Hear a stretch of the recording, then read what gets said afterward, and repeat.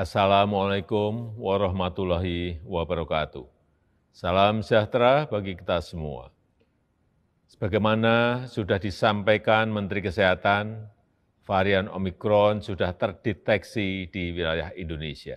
Ini memang tak terelakkan karena salah satu karakter varian ini adalah penularannya sangat cepat.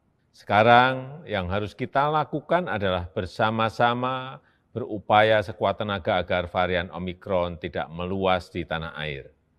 Jangan sampai terjadi penularan lokal. Kita harus berupaya menjaga situasi di Indonesia tetap baik, kita pertahankan jumlah kasus aktif agar tetap rendah, tingkat penularan kita awasi agar bertahan di bawah satu, jangan sampai itu melonjak lagi. Waspada penting, tapi jangan perkembangan ini membuat kita panik. Sejauh ini varian Omikron belum menunjukkan karakter yang membahayakan nyawa pasien, terutama pasien-pasien yang sudah mendapatkan vaksin.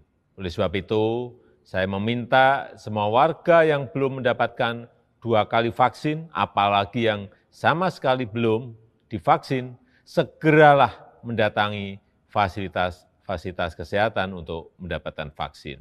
Meski situasi di dalam negeri sudah mendekati normal, saudara-saudara semuanya, jangan kendor menerapkan protokol kesehatan, tetap memakai masker, menjaga jarak, mencuci tangan, dan untuk pemerintah daerah, saya minta agar testing dan tracing kota erat digencarkan lagi, ditingkatkan lagi. Terakhir, saya minta seluruh warga maupun pejabat negara untuk menahan diri tidak bepergian ke luar negeri, paling tidak sampai situasi mereda. Demikian saya sampaikan. Terima kasih. Wassalamualaikum warahmatullahi wabarakatuh.